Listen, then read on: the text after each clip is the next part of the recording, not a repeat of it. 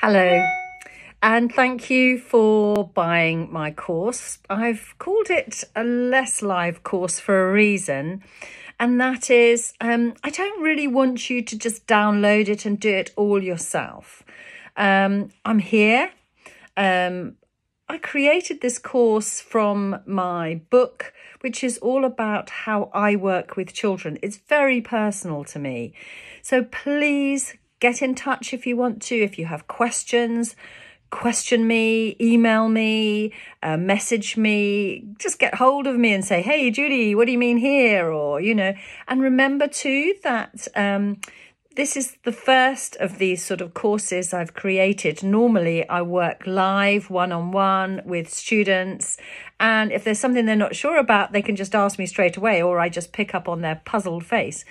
So, um, this is quite new for me. So, please, um, please message me if you're not sure about something or if there's something that I, you, I need to tweak, I can easily do that. So enjoy. There's lots of places where I'm asking you to reflect. There's exercises for you to do for yourself, which you will, of course, then be doing with clients.